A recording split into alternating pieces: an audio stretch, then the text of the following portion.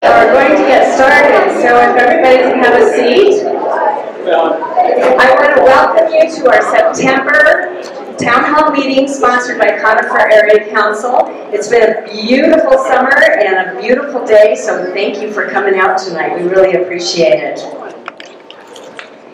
So a very, very special thank you to Core Electric Cooperative um, and to Christy and Tiffany from Remax Alliance for their community support of tonight's town hall meeting.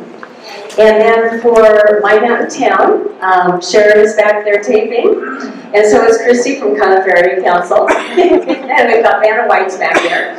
Um, and then also Conifer Jazzercise for, um, for providing the water. And then we do have um, some very special people that we want to recognize tonight, and one way that we're doing that is with cake. So we have cake and cookies, and you're welcome to, to get a piece of cake or a cookie um, at any point. So um, thank you guys for, for getting that already back there. So um, a link will be available tomorrow um, for the meeting. So um, if you want to watch it again, or you know anybody that would like to get the information that we have been giving given to you tonight, um, that link will be available so that the this whole meeting will um, be taped and they can watch it tomorrow, or anytime that they would like to actually. So all of our speakers have been asked to present just the facts um, not to support or in opposition, opposition to any development, person, candidate, um, ballot issue, anything like that. And there will be no campaigning. So our, we do have a few candidates here tonight, and they will be behind their tables, and during the next open house, you can go up and get their literature and ask them questions and, and everything, but if you could wait until then, and they will they will be behind their tables, so they will be ready to talk to you. So thank you all the, candidates for being here. We really appreciate that. So most of you have been here before, and you know the drill, but during our presentations there are no comments, no questions, and so that the speakers get a lot of information to you, and then you can go up and talk to them after the meeting at 8 o'clock and um, actually ask them all the questions you want to, you know, whatever. So um, we appreciate you um, doing that for us. So what is going on around here? So much. The Conifer Chamber has been really busy over the summer, and um, they still have so much going on. So we have Beth Schneider, Chamber Director, um, here to talk about that. Beth. Thank you, Shirley. Good evening, everyone, um, and thank you to the Conifer Area Council for including us in this meeting to keep you posted on what we're doing at the Chamber. And most of you know we had Elevation Celebration the last weekend of July. Um, we have an incredible group of volunteers who make that event happen. And so my message to you today is if you're interested in getting involved in some of the community events that the Chamber puts on, please see me and let me know. We'll get you connected in either planning or the day of the event. Um, our next big event is December 7th, and that's our Christmas parade and holiday market. So the, the market and all of the food trucks and all of the vendors usually are there around 10 or 11. We don't have the official time frame of everything yet. And then the parade is at 2 o'clock. Um, we haven't determined the theme, but we usually have about 40 um, incredible floats. And so you have an opportunity, if you'd like to sponsor a nonprofit float, you have that opportunity, as well as creating your own float. Um, so keep an eye out for the theme and what we have going with that. And again, you're, you're all very welcome to help participate in any of these events. Um, our last, you may have all received, or you should have all received your community directory um, in the mail. That went out to 10,000 houses along the 285 corridor.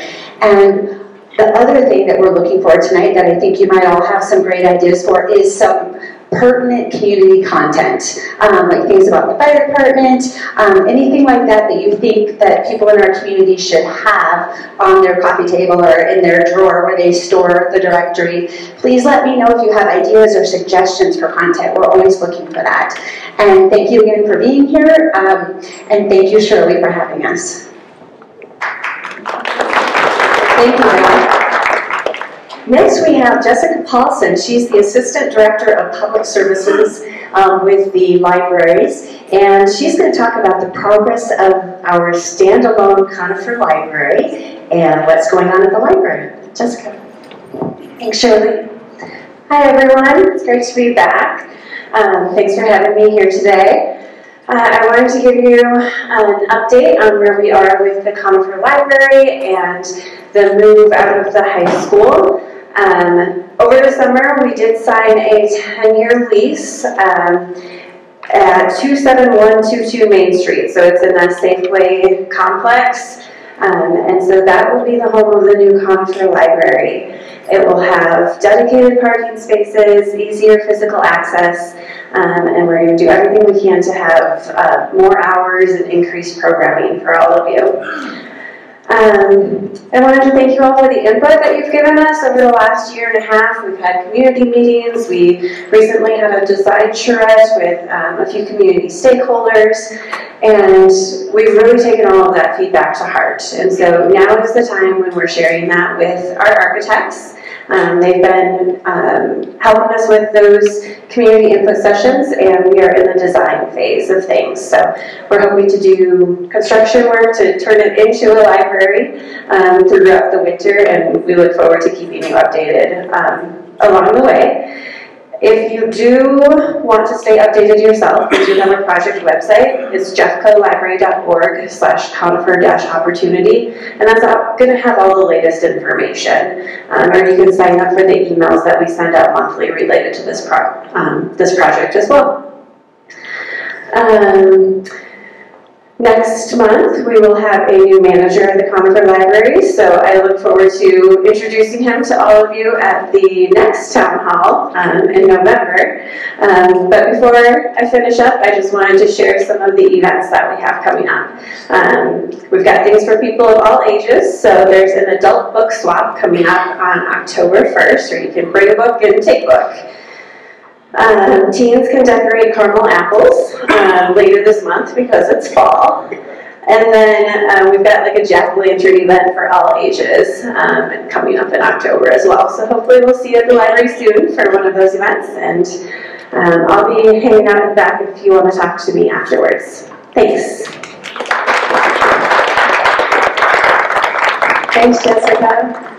Okay, well, the new Chief Executive Officer um, at CORE is with us tonight, um, CORE Electric Cooperative, Pam Feirstein. Did I say that right? Okay. Okay. Um, anyway, she's with us, and um, she's been up in Conifer all day because I saw her at noon too. So she's, I think she's going to love it. She loves Conifer. Um, but anyway, welcome, Pam. Thank you, Shirley. All right. Well, hi everyone. Thanks for having me. Uh, like Shirley said, I'm Pam Feirstein. I'm the new uh, Chief Executive Officer for CORE um, as of the end of July. Uh, so relatively new, but I'm not new to CORE. I've been at CORE for almost 15 years in various roles, but my primary role is the Chief Operating Officer for about 10 years of the 15 I've been there. Um, so that was engineering, operations, power supply, safety. Um, so a lot of the a lot of the things that we do at CORE. And prior to that, I was at an engineering consulting firm for 15 years, where I did engineering, planning, detailed design, management for projects for CORE. Uh, so I can really say that I've been with CORE for about 30 years. Um, I'm from Montana, and I went to Montana State, and I'm an electrical engineer by trade. So that's just kind of a little bit about me. I do have a few things I'd like to talk to you about, about what CORE is up to. Um, first, I want to just hit on our strategy. And our strategy we've been put together um, and refining for several years, and it's been led by our board of directors. Ron Kilgore is the representative for the Conifer area, and you know our board does an amazing job setting the strategy and the vision for the organization. But what I really want to point out on this is that you know, are these three pillars, organizational excellence, operational optimization, and business transformation. Their main purpose is to build up to provide the best service to our members, our partners, and our communities. One of the biggest things that CORE has going on is our energy transition. Several years ago, we made the decision to move away from our all requirements contract with Xcel Energy, and that's where we buy our power from. And the reason we did that was we felt with all of the changes that are happening in the industry and uh, the requirements that the state are putting on, that we could take more control in, of, of our destiny, right? Um, and not have control on what resources that we put on our system to serve you and not be subject to all of the cost increases that Xcel is going to have in their rates. So we made that decision to move away. 1-1-2026 is that Freedom Day. Um, and we've been working very hard on acquiring resources under power purchase agreements in order to meet our demand loads, but also meet the state requirements, which are we have to have an 80% reduction of our carbon footprint by uh, 2030. So you kind of see on this load mix, we're going to go, and this is just for talking purposes, it's not the exact where we'll end up, but we're going to move from, away from coal um, based on state requirements, and we're going to have more wind, solar, batteries, and then some gas plants that are going to help back up the wind and solar when the wind's not blowing or the sun's not shining. We can continue to grow, which is great. We've set about 70 new services up in Conifer in district in about the last 12 months. So Conifer's growing. The rest of our 5,000 square mile service territory continues to grow. And we look to bring in economic development projects, large commercial projects that can help balance our residential load with uh, some different load shapes of large commercial that runs 24-7 um, to, again, help put some downward pressure on, on, our, on our upward pressures that we're all facing. So I know for Conifer, wildfire uh, risk and wildfire mitigation is extremely important, and it's very important to CORE. We have a very um, aggressive wildfire mitigation plan, and it's made up of a whole bunch of things, but the, the main things are things you probably see up here all the time is our linemen out doing operation uh, patrols. You may see drones out flying the lines looking for problems so that we can fix them before there's an issue. Our vegetation crews up here doing a lot of vegetation management. And then we have other programs, um, situational awareness. We've added a lot of uh, technology to our system so that we have cameras uh, that are AI and on satellite that can detect plume smokes and notify first responders very quickly so that they can get there and hopefully prevent any sort of wildfire from spreading. So we're doing a lot in this area and we continue to look at new technologies and invest in ways to um, mitigate any of our equipment causing fires.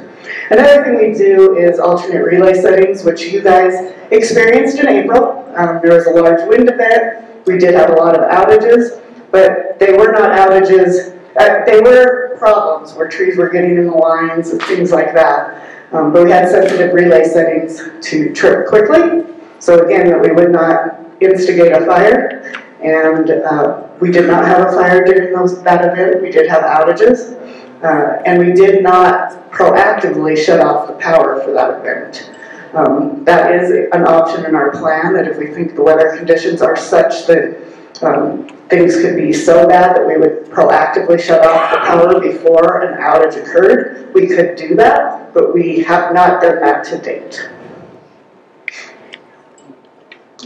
So with all of our growth, um, the Conifer, current Conifer office, we've kind of outgrown that. It was built in the 70s um, with all the maintenance and work that we do. And up here in Conifer, we made the determination to buy a new piece of property and buy a new building.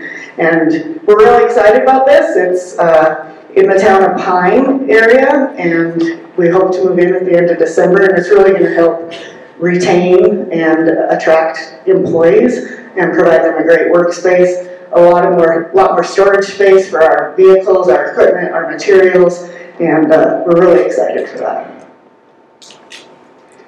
The other thing that's great is we're a cooperative, which means you guys are member owners on equity in CORE. So not like an investor owned where uh, all the profits get returned to shareholders. Uh, our margins that we make, the board makes a determination on what goes back to the member and then what we need to keep to remain to do our maintenance and our system uh, improvement projects. This year, they voted in September, to- or in August, to return $12.25 million uh, to the members. Um, That could be current members or former members of CORE, and you will see, start seeing that credit on your September bills.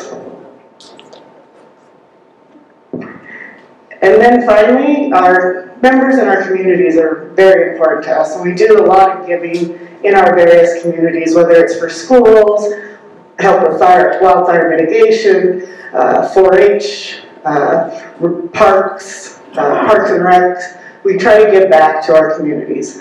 A new program that we started is called, called Core Gives. And this is a partnership with uh, Colorado, with Colorado Gives. And it just is another way that if you're looking for a way to donate uh, to a, a good organization, you can go through our Core Gives website and uh, donate to one of these local nonprofits that help people in need um, within your community, and you know it's going to your community. So, with that, um, I think that's the end. Thank you.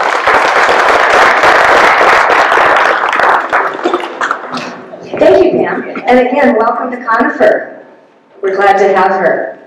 Okay, so next we have Commissioner Lesley Dahlkemper, and she's going to be, she's here for a Jeffco update. There's always so much going on in Jeffco, so I don't ever give her enough time, I know. Thanks so much, Shirley. Hi, everyone, how are you tonight? It's so good to be back with you. Nice to see you all. I do have a lot of updates for you, but first I want to thank the uh, Conifer Area Council for hosting tonight's election forum with an opportunity to meet the candidates who are running for office. I want to thank all the candidates who are stepping forward. On the Board of County Commissioners, we have two seats that are open this November, District 1 and District 2. I also wanted to mention that Commissioner Andy Kerr very much wanted to be here tonight. However, he is our liaison to DRCOG, which is a metro area organization focusing on issues like transportation, housing, and more. We'll see if we can't get them up here um, next month because I'm looking forward to serving on the affordable housing panel that is being hosted um, as well. I think that uh, is just across the way in Evergreen, if I'm not mistaken. But a couple quick things I'd like to share with you. As you know, our Together initiative, Together Jeffco initiative has been focused on a myriad of issues, everything from how the Board of County Commissioners makes decisions about land use and rezoning, how that affects your quality of life right here in Conifer and other communities. A big part of this effort has focused on wildfire risk reduction. That's been a huge component, including updating the county's wildfire preparedness plan along with the evacuation annex, which is a supplement uh, to the Together Jeffco initiative. And I just want to take a moment to give a huge shout out to our amazing team at the Jeffco Sheriff's Office. They're all sitting right there pretending that I'm not talking about them right now. Of course, our sheriff. And we can't do this work without our fire chiefs and their teams as well. And we deeply appreciate your expertise. And most important to this conversation is each of you. We now have drafts of the CWPP and the evacuation annex online at togetherjeffco.com. Please take a look because we've incorporated the feedback you've shared with us at town halls and we're so grateful and we need you to uh, weigh in. Let us know if we missed anything. Does it communicate clearly? And are there any other priorities that you have that we should be aware of? I also want to mention, we just heard today at a, a meeting with the county manager and with Jeffco Open Space that those pine beetles are back. Have you seen them on some of your some of your trees? I'm seeing a number of heads nodding. We heard from Jeffco Open Space that we're seeing an uptick in pine beetles across the foothills communities in Jefferson County, especially here in Conifer, in the Foxton and Elk Creek areas, uh, just south of 285. And if you are looking for tips, uh, need more information about invasive species, I encourage you to take a look at the Jeffco Open Space website. In addition, two other quick, how am I doing, Angela, on time? Oh, all right then, I'm gonna keep going. And just share with you that it is that time of the season, and for us, it means it's time to take a look at the Jefferson County budget. We're looking very closely at what you have told us are your priorities in terms of how we provide essential county services ranging from public safety, crime prevention, looking at wildfire risk mitigation, and so much more. We are looking at uh, potentially $20 million in budget cuts, and you may be wondering, well, wait a minute, my uh, home value increased. With it, the property taxes I'm paying in, the general revenue fund is largely funded by your property taxes, but we have a, a state mandated revenue cap. So dollars that we collect above that cap are returned to you in the form of a refund check.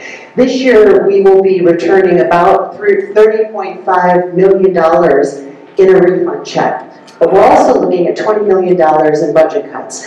To tackle this issue, and I'm going to keep it factual, Shirley, I promise, county commissioners voted unanimously to place a ballot question on the November ballot to ask voters to remove the revenue cap, just as 62 other counties across the county, Colorado, across the state, Colorado had done.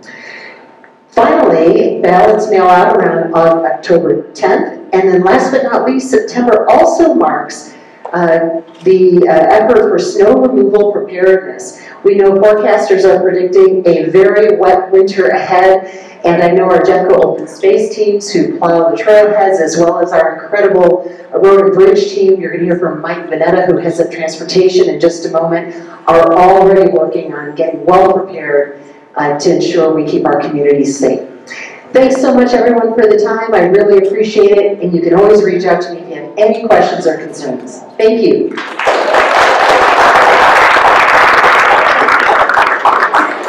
Thank you, Lesley. And now we have Mike Vanetta. He is the Director of Transportation and Engineering. Did I get that right?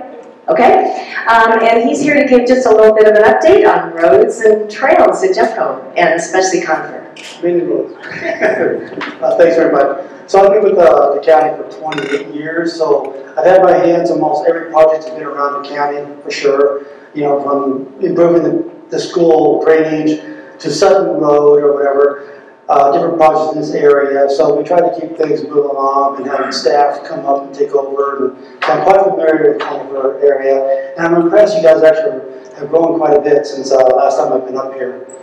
So uh, we have uh, part of the Together Jeffco, we have a transportation mobility plan, and uh, we're trying to, that's the uh, safety, identify all the safety improvements needed for Jefferson County.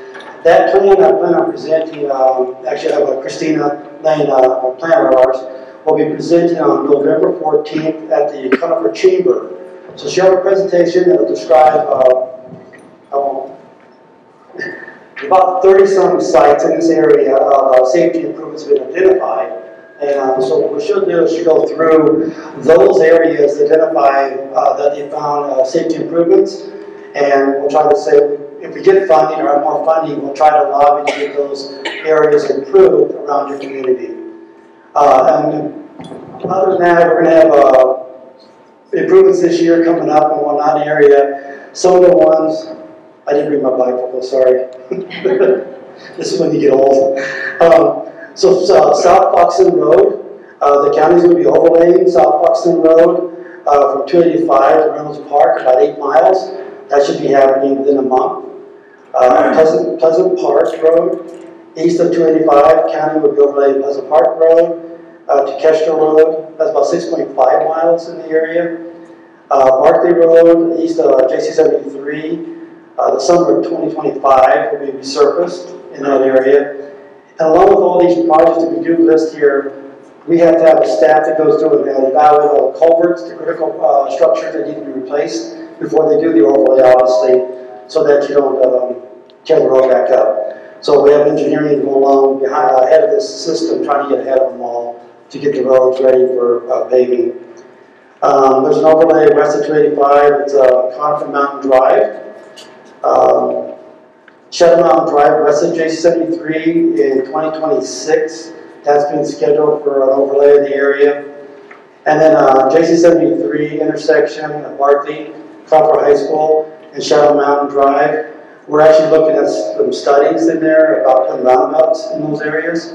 So uh, right now we have no funding for it, but, um, the signals can fail sometimes, it's not operationally great, and the roundabouts can help control the speed in that area, kind of like you do at, um, North Turkey Creek, uh, Drive. And when in all of these, uh, projects, we try to widen as much as possible to get better shoulders, so we don't have drop-off wheel, um, or people's tires go off and bounce the other way, have head-ons like that, so, uh, that's all has to be engineered to figure out what we can do for roundabouts. Um, we're also in support of, uh, CDOT, uh, for the 285 and Kings Valley interchange. That's a uh, $60 million project they're trying to get funded. And then, um, they're they're about a third of the way in terms of design, and that'll be a big interchange on 285, which should help out that area. Um, and then some intersection improvements along, uh, US 25 and Pine Valley, and they'll be doing some rumble strips. And speaking of CDOT, at that November 14th meeting, they're gonna have somebody from CDOT there also. So if you wanna try to get both sides of the transportation system in here, they'll have a PowerPoint, a little more information for you than I have right now. But I'm just trying to let you guys know what's going on in the area, that you should be seeing pretty soon, uh, in your neighborhood, hopefully. Thank you very much.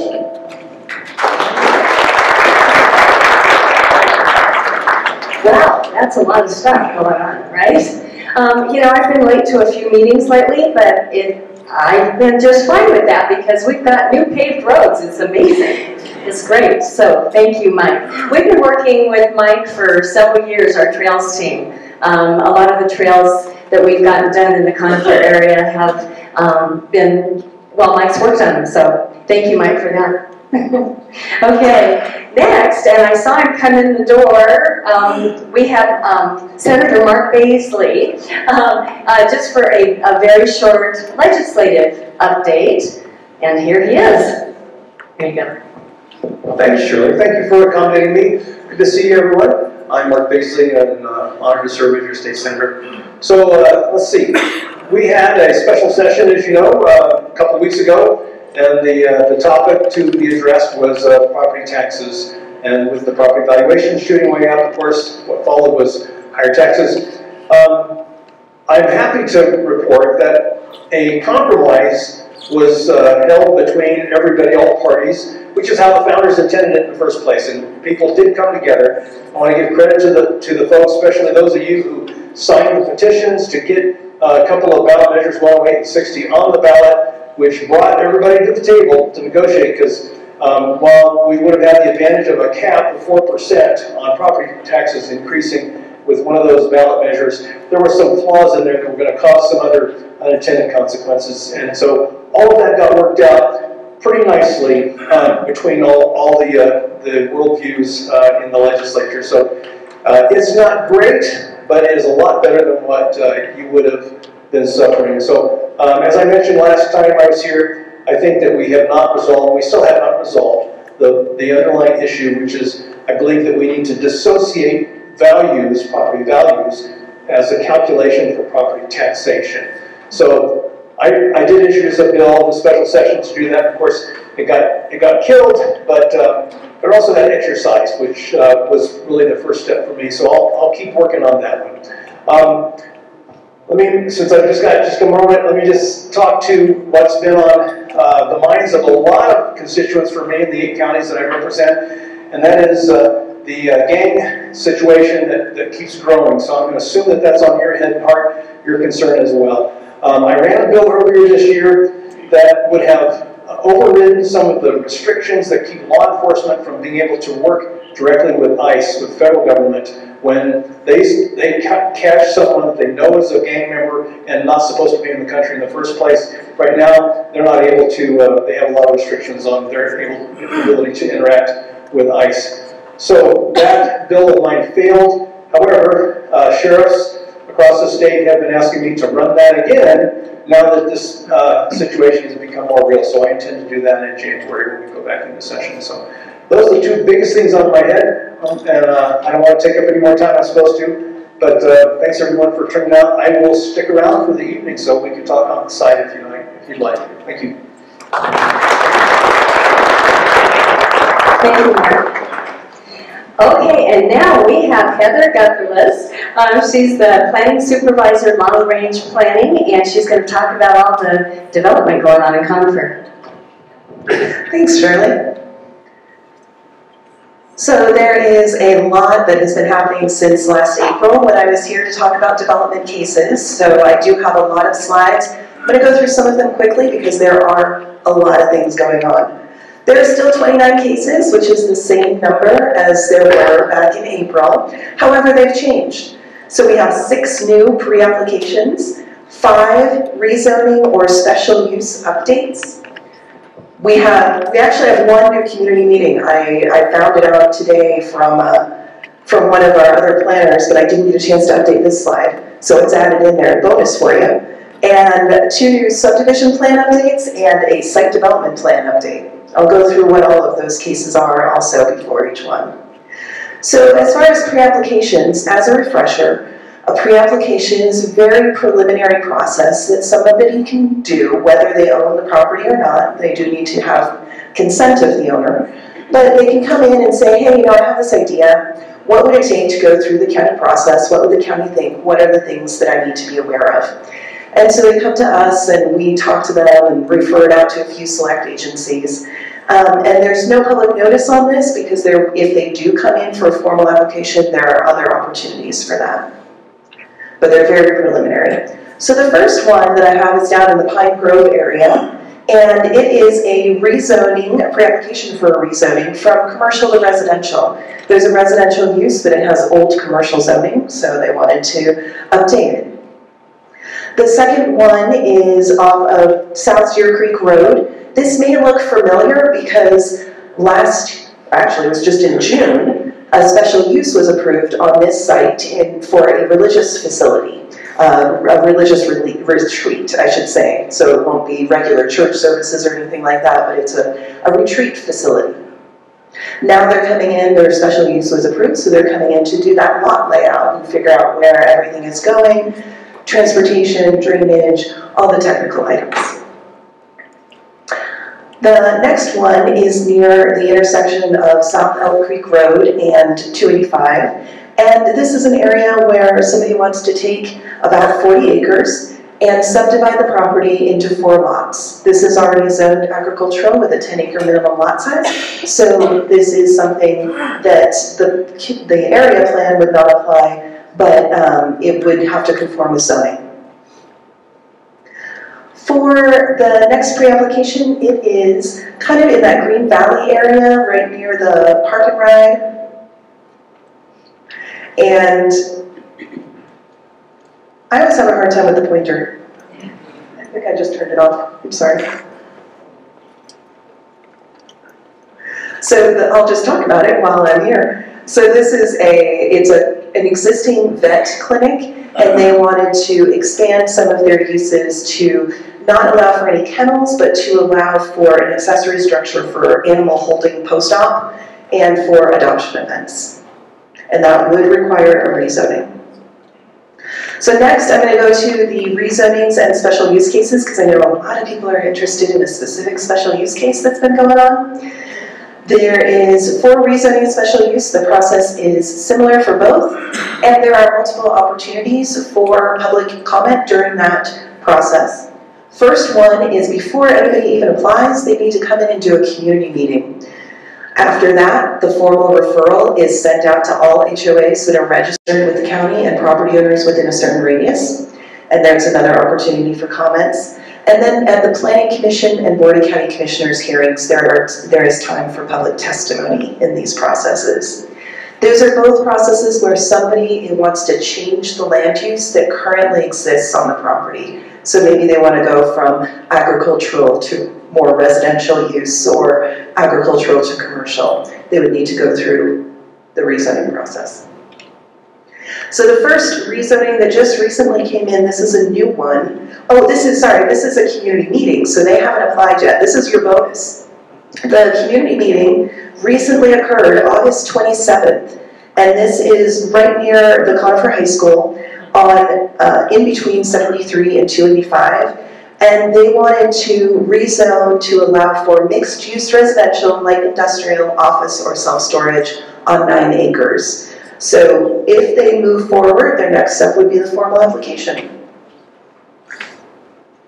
Next, uh, there is a rezoning to kind of downzone a property from MR2, which allows for duplexes, to MR1. And that is off of Crestview in the Hilldale Pines area. The big one that I know a lot of people are interested in is the bike park. Last week, there were two planning commission hearings. They heard, they got through all public testimony on September 11th and September 12th. They did not get to deliberation or being able to ask staff or the applicant questions. And so they are continuing that case again till September 23rd. And this is the lift-assisted bike park that's proposed off of Shadow Mountain. Uh, because of that continuance, the Board of County Commissioners is currently scheduled for October 1st.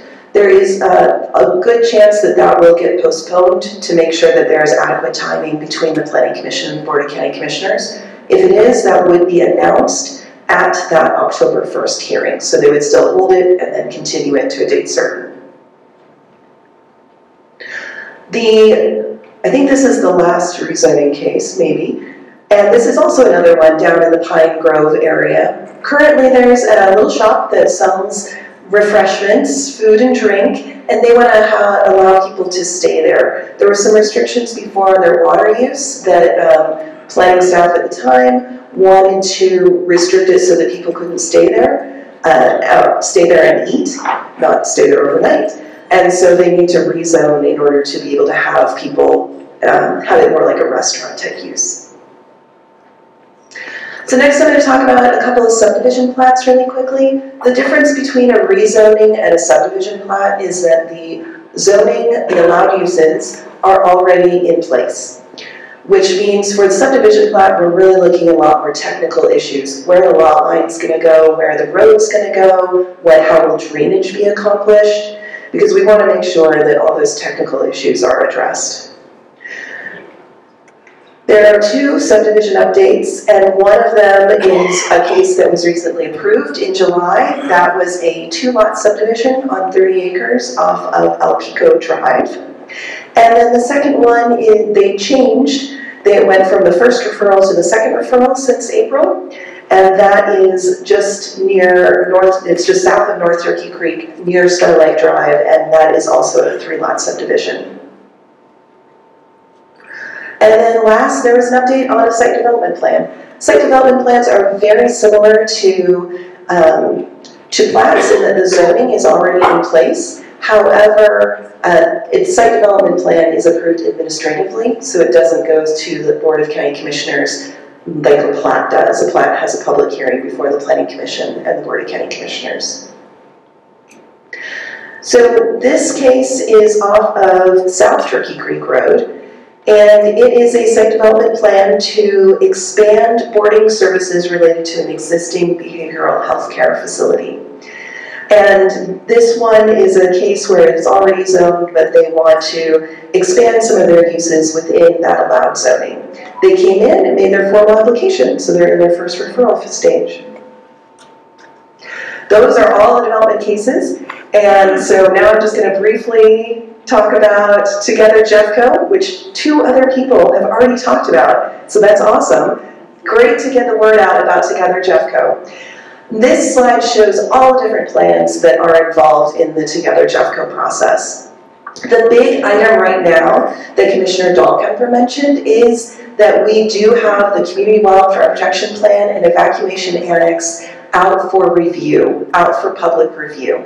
It's on the togetherjeffco.com website, and comments are due Sunday, September 22nd. Originally, we were thinking Friday, but then we were like, you know what, the consultant's not going to get to the comments before the weekend, so we want to make sure that everybody has the ample opportunity to view those documents and comment. There is a feedback form on the website so that you can fill it out right then and there.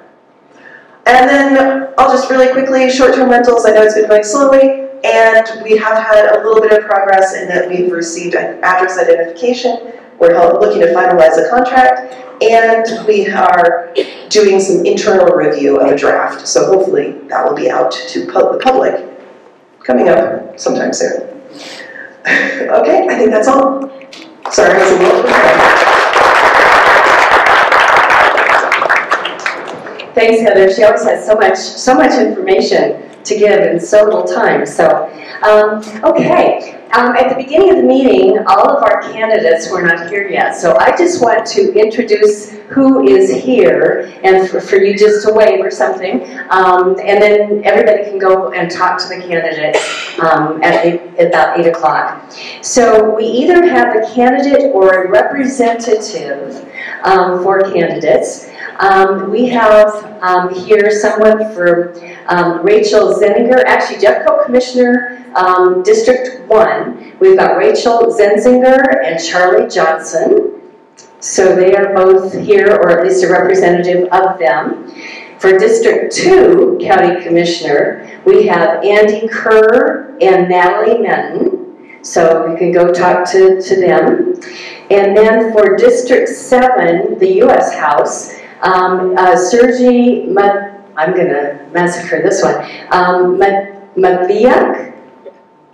Okay, did I get that right? Thank you. Okay, wow. Um, so he's here to talk to. And then for um, House District 25, we have George Mumma um, right back here. And we've got Tammy's Story over here. So please go and talk to them um, at, at 8 o'clock and um, get as much information as you like. So, we have had in the last um, couple of weeks um, some unfortunate situations.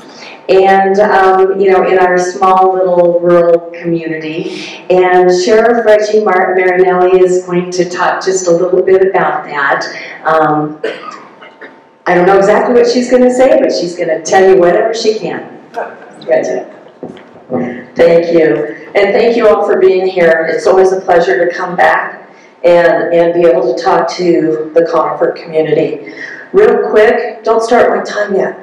Real quick, I do want to mention and thank uh, my team from emergency management that worked the Quarry Fire, the Gulcher Fire, and about five other ones. So with us tonight, Under Sheriff Scott Eddy is over there. Um, Mark Gutke, who is our wildfire program manager.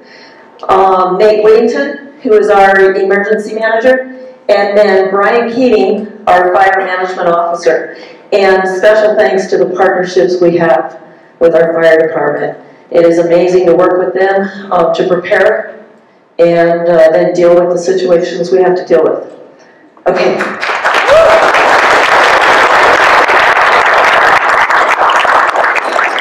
So tonight I was asked um, to come and talk about the recent situations um, with the uh, gunshot wound that one of our um, Dakota Ridge High School students received.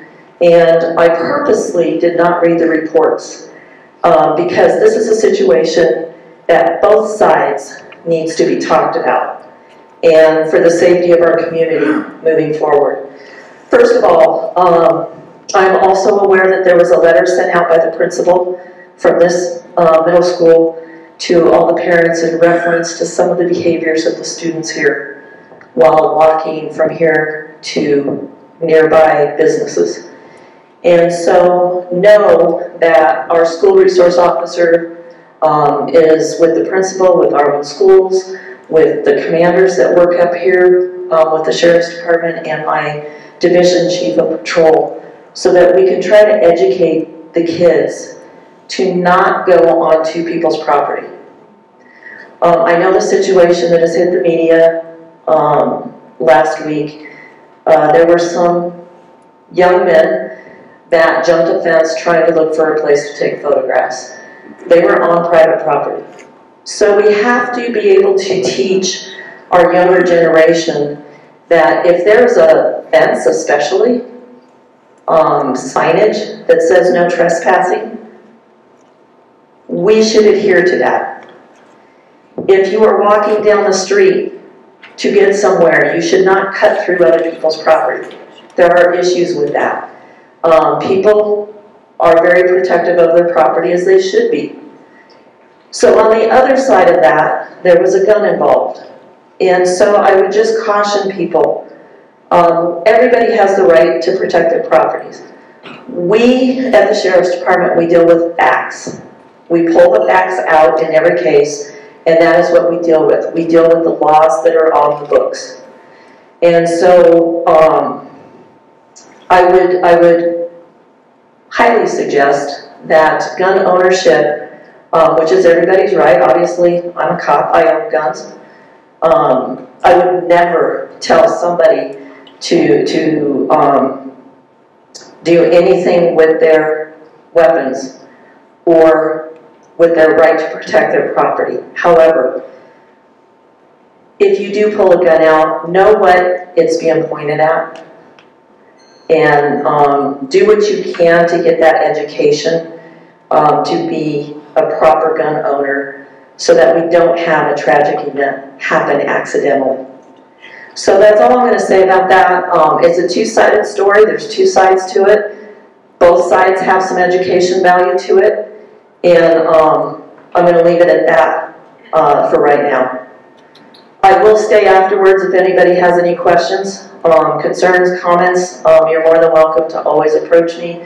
I talked to somebody earlier who had made made the statement that they wanted to call me to make an appointment. I'm okay with that. Call and make an appointment and come see me, or we can talk on the telephone. I don't. The microphone has issues, but I don't.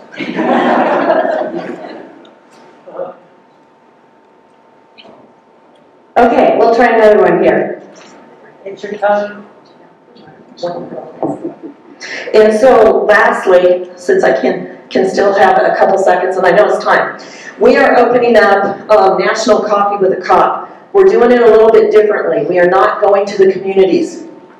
We're going to have all of the communities come to us. So the second, October 2nd, which is the first Wednesday in October, that's National Coffee with a Cop Day. We invite everybody in this room to come see us at our headquarters. Uh, we are going to open everything up. You will be able to talk to our people that are in emergency management. You will be able to talk to my finance director. Uh, we are going to be completely transparent on everything we do. So that's October 2nd. We're doing it twice, once in the morning. Don't quote me on this, I think it's 7 a.m. Again in the evening at 5 o'clock. Coffee with a cop, bring your kids. We have partnered with Jeffco Public Library, and we are going to have milk cookies for the kids who can sit with our deputies and read books. And the public library will be supplying books for the kids to take home. So come join us. We'd love to see you. Get on our social media sites, X and Facebook, and it has it all on there so you can get the proper times and all of that, and come see us for coffee with a cop. Thank you.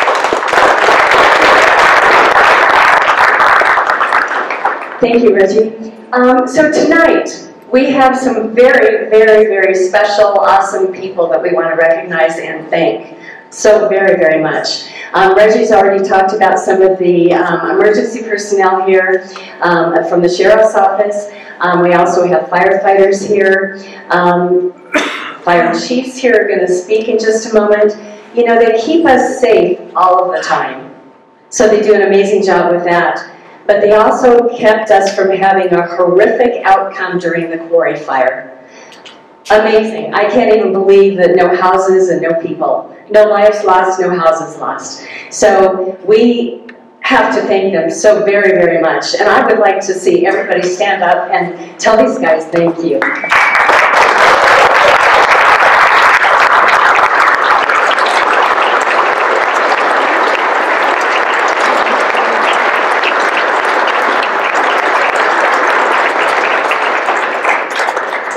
You guys are awesome. And now we have the three fire chiefs that are going to be talking a little bit about the quarry fire, some other things, and also maybe some things to come in the future.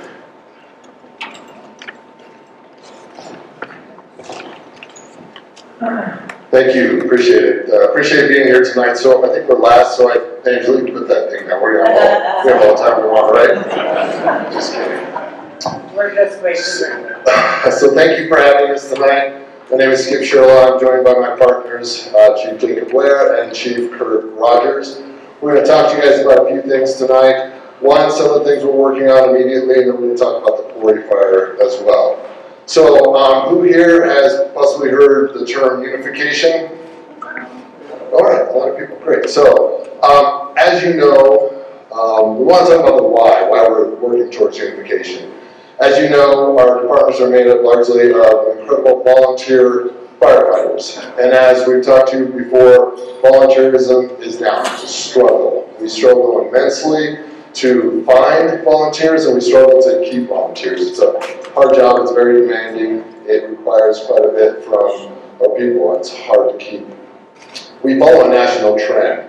This is not new throughout the country. Fire departments are closing nationally or they're combining. If we look down the hill, West Metro or Nevada, they were all volunteer fire departments, but could not keep up with the demands of the community and needed to go to a more of a paid department. That is what we are working towards with unification. We're trying to address the issue of, uh, of volunteerism that's, that's basically, is unfortunately uh, dying. We are all volunteers. We come from this. It's near and dear to our heart.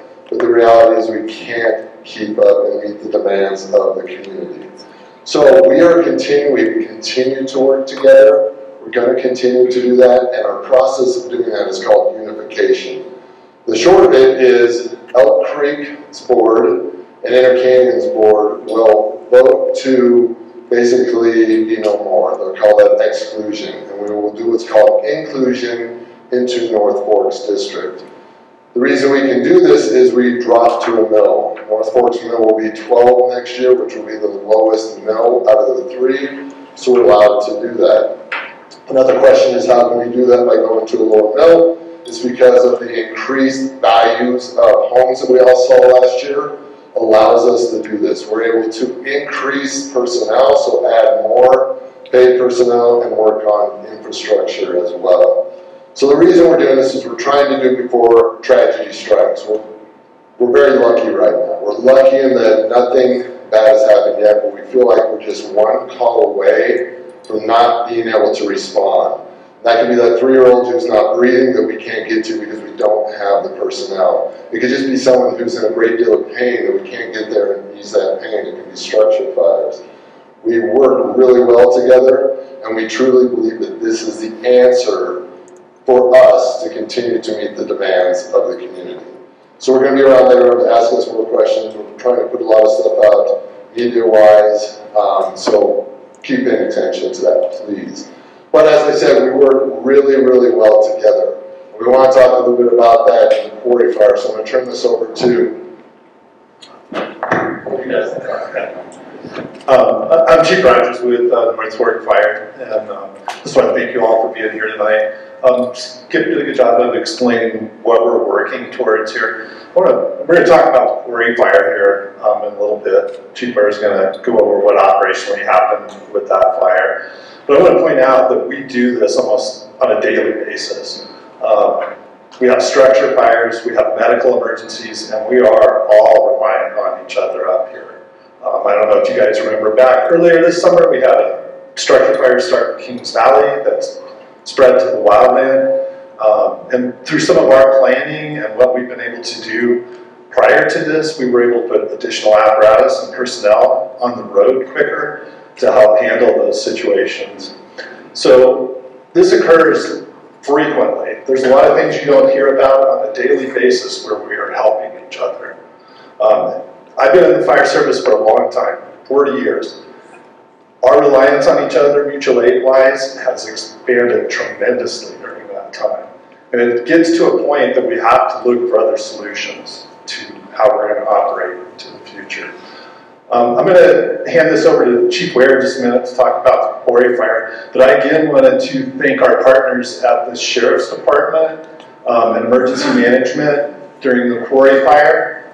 That was the smoothest transition I have seen in my 40 years of doing this. They did an outstanding job um, filling in and working with us as we attempted to get a handle on that fire early on.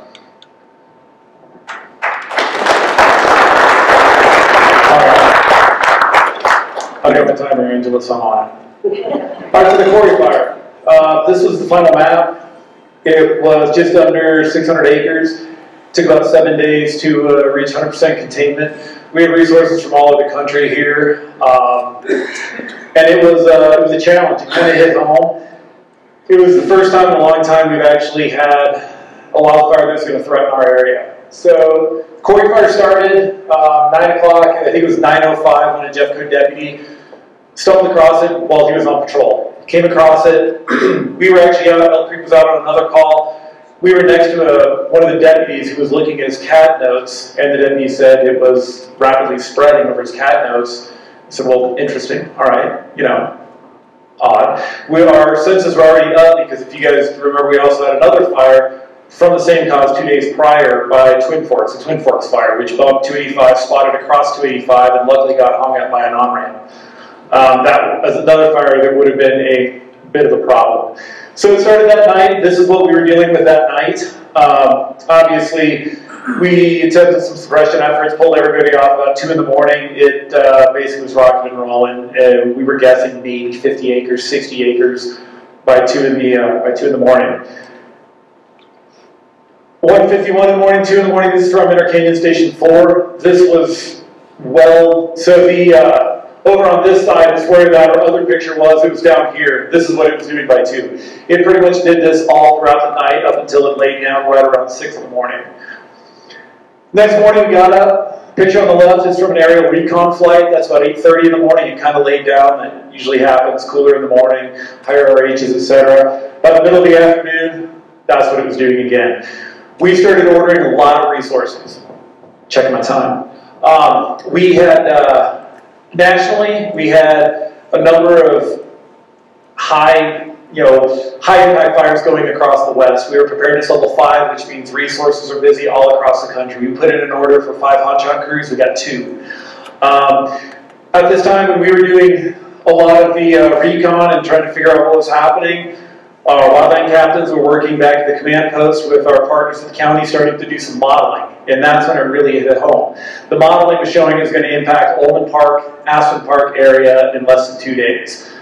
That's where everything kind of escalated. So going through a risk-benefit analysis and complexity analysis, this fire very quickly became one of the highest priority fires in the region and actually was ranked nationally on the priority list. Which what that does, that frees up a lot of resources. We started ordering a lot. We weren't getting a lot, but we were able to get a lot of aviation. Uh, this is day two. Made another push up there, still burning very actively in the afternoon. What we did get was, again, a lot of aviation. We had, uh, let's see if this is going to work.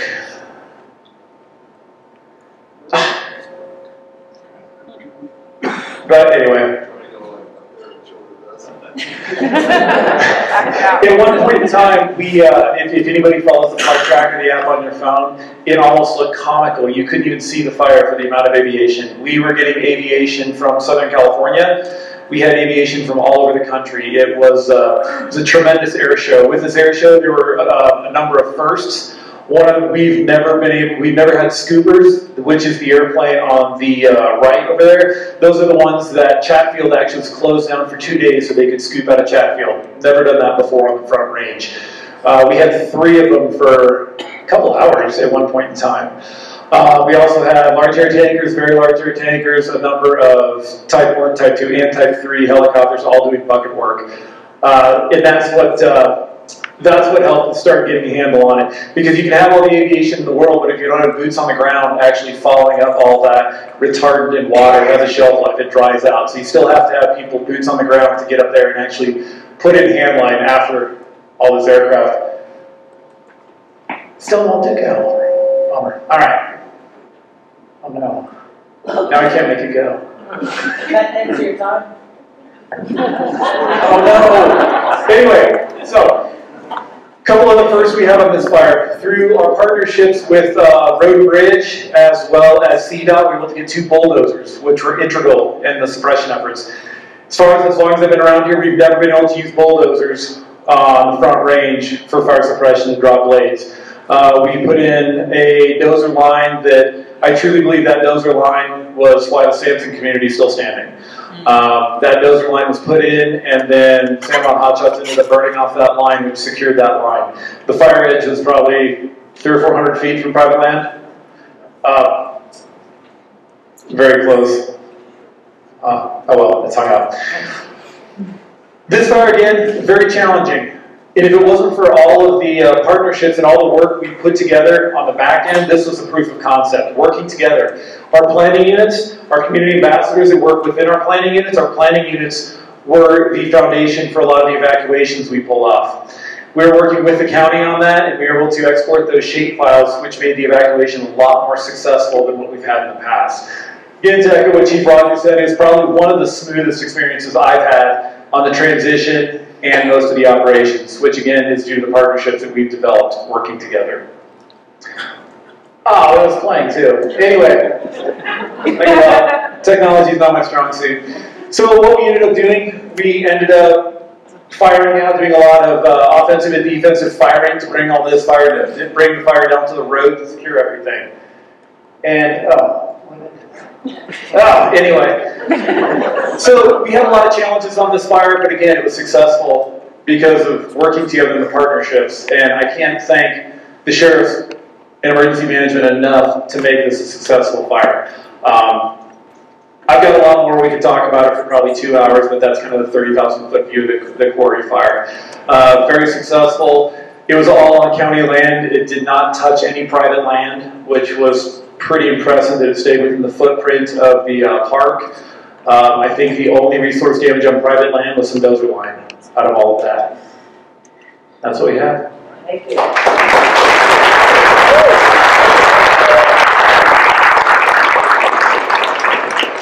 Thank you for tonight and for always. You were amazing.